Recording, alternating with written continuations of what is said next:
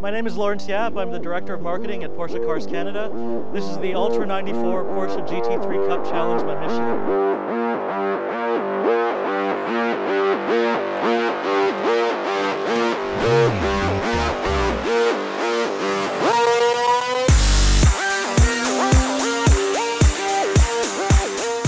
We have a great series north of the border running the Porsche GT2 Cup cars, the same ones that IMSA runs south of the border. We have our own smaller series up here with about a 20 car field, gentlemen racing with some hot shoes out front, young development drivers. We run about half as many races as they do in the US.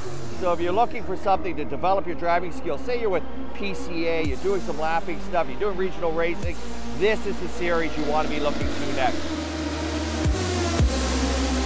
In our series, we have essentially two different kinds of customers. We have young, up-and-coming drivers, and then we have a core group of what, what we would call gentleman racers that really are the backbone of this series, that are doing this because it's fun, it's a great outlet for them, and enjoy themselves on the weekend.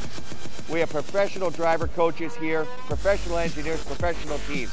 And with Porsche Motorsports backup and Porsche Canada supporting us, it's a great series to be involved in.